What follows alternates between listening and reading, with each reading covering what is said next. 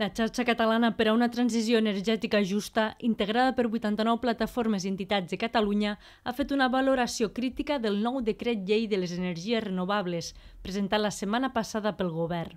Aquest nou decret no impulsa una sobirania energètica real.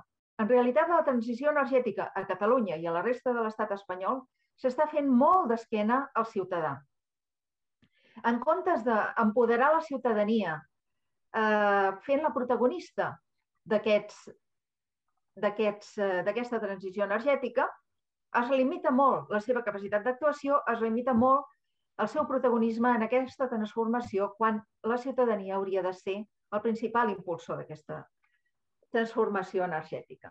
Les associacions exigeixen una moratòria fins que redactin els plans sectorials territorials per evitar una bombolla de projectes com asseguren que va passar amb el sector porcí. Tant sí com no, han reclamat que es limitin aquestes instal·lacions a les necessitats reals de renovables i es facin tenint en compte les conseqüències ambientals i socials. Pel que fa a la participació ciutadana, asseguren que a la pràctica el 70% dels projectes quedaran en mans de les multinacionals energètiques i només el 30% serà per a projectes d'autoconsum o de petit format. Qui realment hauria de dir si es poden posar o no eh, aquests equipaments de renovables haurien de ser el conjunt de la ciutadania afectada.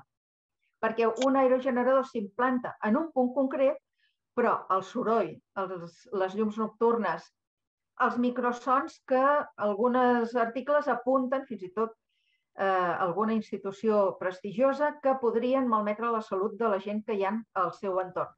La xarxa catalana per a una transició energètica justa també ha desmentit que el decret faci compatible l'expansió de les renovables amb la sobirania alimentària, el desenvolupament rural i la protecció dels espais naturals.